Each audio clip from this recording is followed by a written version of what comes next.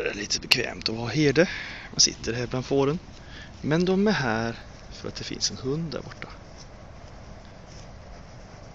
Här är tryggt hos mig. Men där borta står hunden.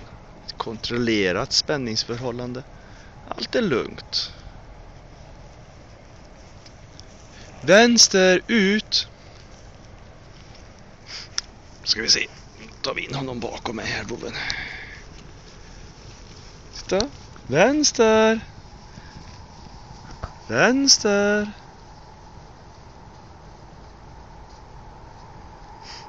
Vänster!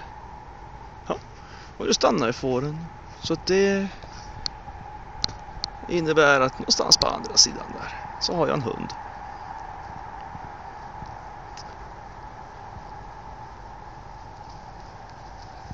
Kommer de till mig i trygghet. Ah, vänsterut!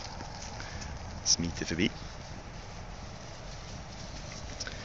Och då får ju hunden eh, ta en liten runda där. Visst är det bekvämt att vara herde ibland.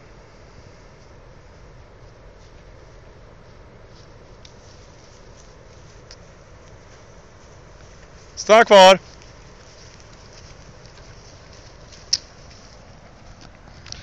Alla mår bra.